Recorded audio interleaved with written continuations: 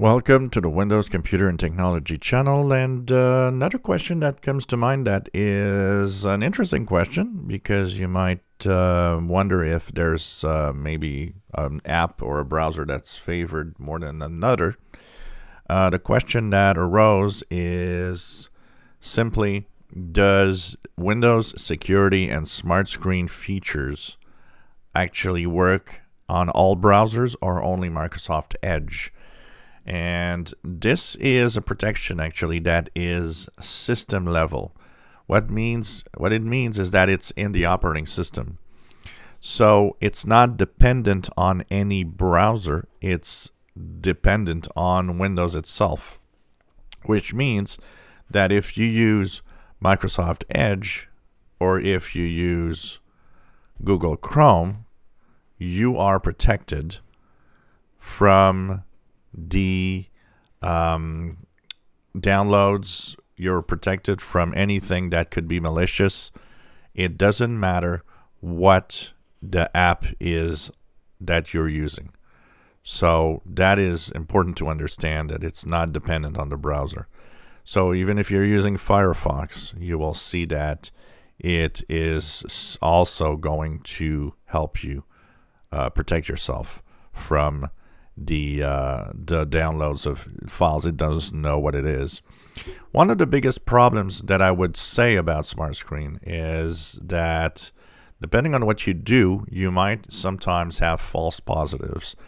Um, I do amateur radio stuff, and on amateur radio, you have very unique apps that aren't downloaded very often because you know there's less people downloading certain apps for amateur radio than, you know, say Google Chrome.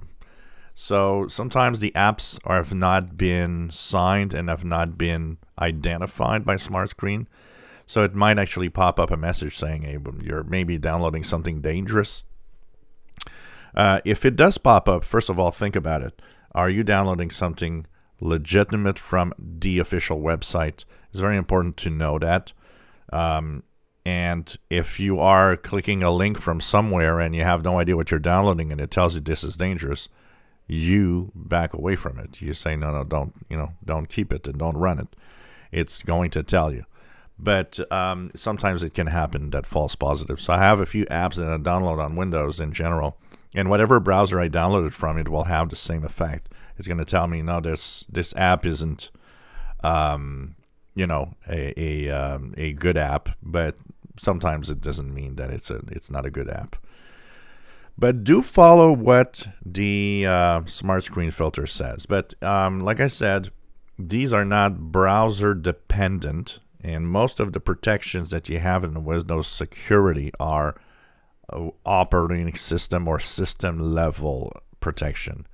So wherever a download will come from, even from apps that are not necessarily a browser, if it downloads something, the protection and the security will be checking it out and will be an analyzing if it's safe or not to uh, to use.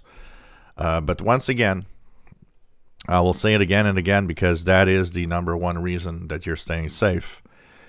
Um, you know, make sure that you download something from an official website that you know what it is, you know where it's coming from. You know, don't download shady things because even whatever antivirus you're using can easily, easily be bypassed by a lot of the malware out there. If you enjoy my videos, please subscribe, give us thumbs up. Thank you for watching.